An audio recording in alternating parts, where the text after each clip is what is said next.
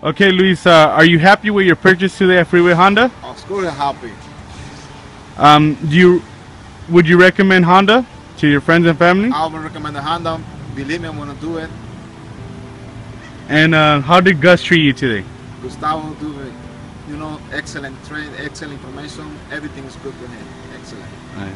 Thank you, Luis. Have a nice day. Congratulations.